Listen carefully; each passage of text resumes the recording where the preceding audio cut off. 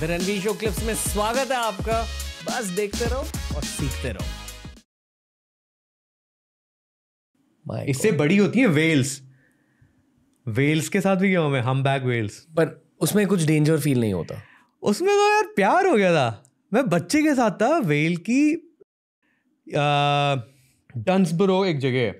डंसब्रो का जो पानी है इट्स वेरी वेरी काम अब जितना मुझे कॉन्फिडेंस आ रहा है ना पानी में तैरने का मैं अच्छी अच्छी जगह एक्सप्लोर कर रहा हूँ पानी के वेरिएंट्स देख रहा हूँ पानी के कलर्स इतने अच्छे हो रहे हैं और अच्छा लग रहा है बहुत अच्छी ओशन लाइफ है।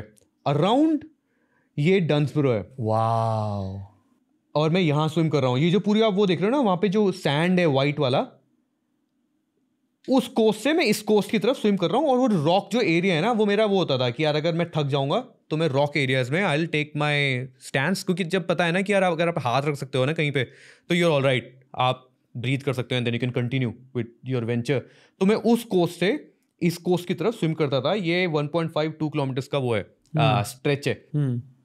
और मेरा रहता था कि यार दो लैप्स करने हैं four point four four kilometres करीब स्विम होता है आयरन मैन का। तो मैं प्रैक्टिस उसी मोटिव माइंडसेट से कर रहा हूँ कि इंडोरेंस करना है टाइम वाइम छोड़ो यार। और तो मज़े भी हो रहे हैं इतने अच्छी इतने अच्छी जगह पे। तो ये चीज़ मैं कर रहा हूँ। एंड नाउ जो डीप ओशन है ना डीप ओशन को पता ऐसे लगता है जो वो डार्क दिख रहा होगा आपको। वहाँ से कोरल्स शुरू हो रहे हैं। जहाँ कोरल्स शुरू हो रहे हैं वहाँ पे वाइल्ड लाइफ है। बाय दिस टाइम अब मुझे फ़िश देखने की आदत हो गई है और स्नॉर्कलिंग अच्छी खासी हो जाती है इनके साथ साथ ना। स्विम भी हो रहा है स्नॉर्कल भी हो रहा है।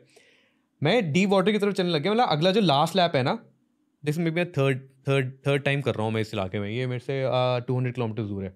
और टू हंड्रेड किलोमीटर ऑस्ट्रेलिया में इस टू आवर इतना दूर जो भी है वो पास ही है। मैं उस डीप वाटर में गया हूँ और अ, मेरी स्विमिंग चल रही है।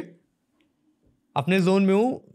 मेरे लिए ना मेडिटेटिव जोन है यार। बड़ा अच्छा लगता है ये रॉक क्लाइंबिंग करते हुए स्विम करते हुए रन्स करते हुए। एक आफ्टर अ वाइल जब बॉडी को एक आदत हो जाती है एक एक ट्रांस जोन आ जाता है। You are free from everything बहुत अच्छा लगता है मुझे वो जोन बिकॉज़ ऑफ़ खतरा? नो मुझे खतरे का नहीं है ये तो बहुत सेफ़ जगह है यार ये. ये बहुत सेफ़ जगह है.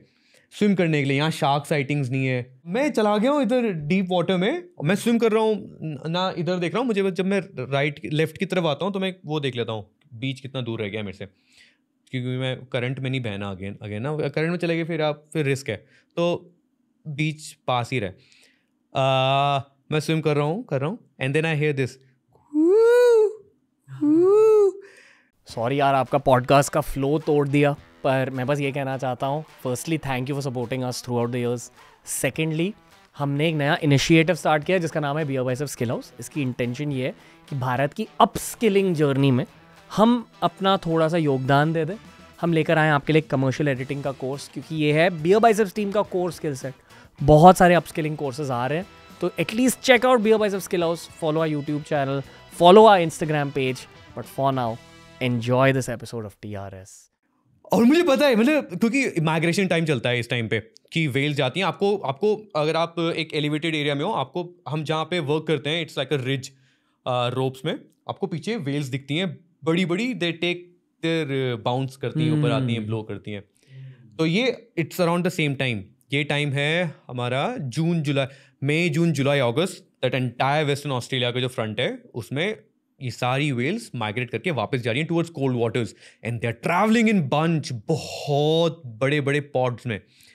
तो ये ये दिन ऐसा था कि यार मैं पर्थ जा रहा था और रास्ते में पड़ता है why not let's just swim इतना अच्छा एरिया है। मैं जब अपना सेकेंड लैप ले रहा हूँ वापस जा रहा हूँ तो ये आवाज़ आई, ठीक है? अब मैं राइट से आया बाहर, मैं रुक गया मैं सिर्फ़ ट्रेड कर रहा हूँ, मैं कहाँ है कहाँ है कहाँ है? मुझे दिखा नहीं, कुछ नहीं दिखा मतलब कुछ आवाज़ आई है इट्स श्योरली इट्स दे मैं दिखानी दिखानी दिखा नहीं दिखा नहीं मैं फिर से स्विम करने लग गया। इतने प्यार से एक छोटी सी मतलब छोटी इसलिए कह रहा हूँ क्योंकि मैंने इनके साइज़ देखे हैं बहुत बड़े होते हैं। तो ये एक बच्चा है जो मेरे नीचे से आया है। और आवाज़ यहाँ से नहीं आवाज़ कहीं और से आई है। वो मतलब ना एक इतना प्यारी आवाज़ है ना यार आई कैन आई कैन मैं उसको सुन सकता हूँ। और भाई बहुत एक वाइब्रेशन हुआ है।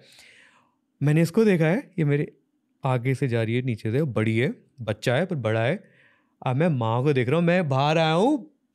ये माँ the big whale came out 200 metre surely away from me और ब्लो किया है बुश तो जो ब्लो किया है ना वो पूरा छीटे मेरे तक आए इतना इतनी बड़ी वेल है। तो मैं घर जाके एक साइज़ कंपैरिजन देखा तो हमारा हम हम ना एक जो एक कार का जो साइज़ है दैट वो उनका हार्ट होता है इतना। तो इतनी बड़ी इतनी बड़ी वाटर एंटिटी मेरे से 200 मीटर्स दूर थी।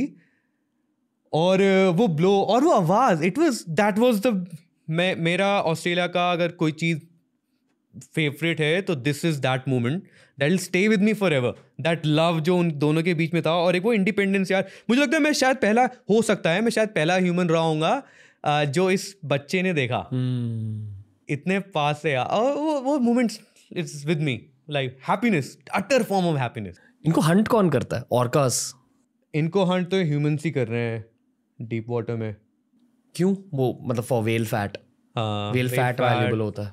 वेट फैल परफ्यूम्स का I heard lot even for the meat as well hunting हो रही है इनकी। क्या होती है इनकी इंटेलिजेंस इतने पास से जब वो आ, बच्चा गुजरा। आई एम श्योर आपने ग्रेट वाइट शार्क भी देखी एकदम पास वो तो वो तो नर्वस था वो तो बहुत नर्वस फीलिंग थी। वो तो वो मुझे उसने ना एक फील करवा दिया था कि I am letting you live shark ने। वो वो फील वो डेंजर वो फियर सब कुछ था मेरे अंदर। यहाँ पे ऐसा कुछ था ही नहीं।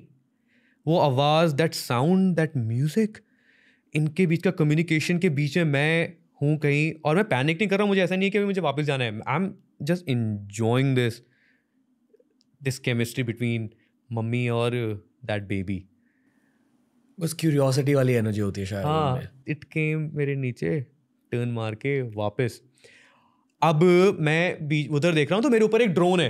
तो because he is trying to get तो जब मैं वापस आया आई आज दिस गाय क्या तेरा फुटेज होगा तो वहाँ पे एक और इससे इन दोनों से बड़ी शार्क है जो मेल रहा होगा according to this guy whale male whale तो ये पूरी फैमिली रही होगी इनका पॉट चल रहा था अपनी जर्नी में। और वेल इन दोनों से बड़ा था। मतलब ऊपर से तो यार, ऊपर से ना ऊपर से छोटा लगते हैं, अगर कंपैरिजन ना हो तो जब स्विमर को रखो बेबी को रखो, mummy and then that big thing तो उसके फ्रेम में वो वो बड़ा वाला वो आया जो और और दूर था। इन लोगों के लिए दूर नहीं यार, वो इतने बड़े बड़े हैं ना, उनके लिए एक टर्न लिया है दिल्स अगर आपको ये क्लिप अच्छा लगा तो ऐसे ही हज़ार क्लिप्स अपलोड किए गए इस चैनल पर, बस देखते जाओ और सीखते जाओ।